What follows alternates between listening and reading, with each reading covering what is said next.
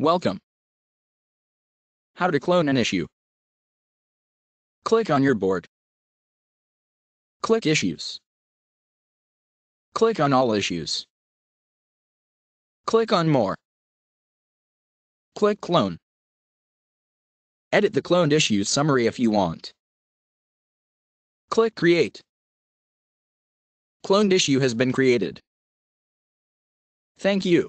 Create free and fast how-to videos with Guide Me by Edcast. Visit us at guideme.io.